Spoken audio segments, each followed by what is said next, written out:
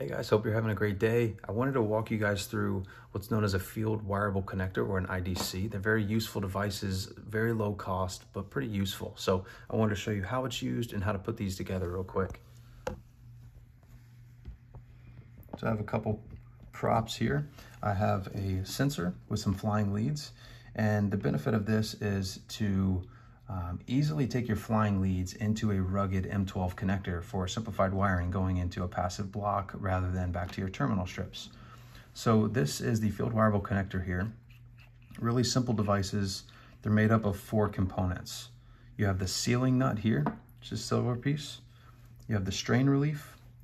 You have the contact carrier, and then you have the connector termination and they're really easy to install. They made it super simple. So basically what you wanna do first is trim your cable jacket back a minimum of about 25 millimeters. I usually do it a little longer. It's easier to manipulate.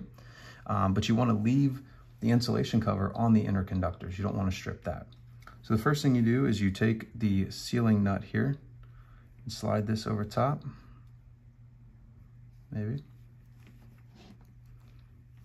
Then you're gonna take your strain relief you're gonna slide that over as well. And it's designed to sit right on top of the cable jacket here, just like that. So from there, you have these devices on. Um, next thing you do is you take your contact carrier. And what's nice about the contact carrier is it's actually color coded and um, numbered. So the numbers correspond to the final pin orientation on the connector, while the color coding corresponds with the conductor colors. So what you're gonna do is you're gonna take this and just slide it over. So for instance, in number three, it's blue.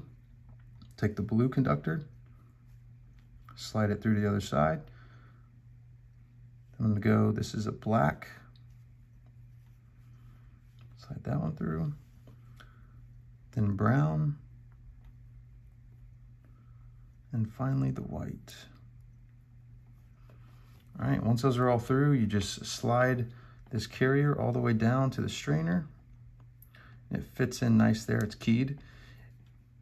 And then all you have to do from this point is just trim these conductors flush. So go ahead and do that.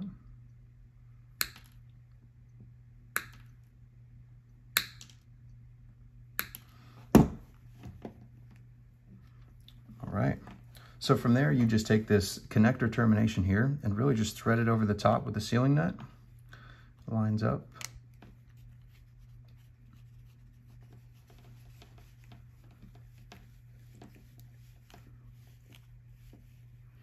so that's snug there, so make sure that seal is tight. And then from there, you can take it right into your distribution block.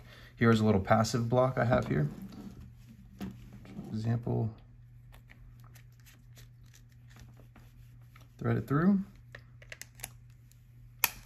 And that's it, easy done.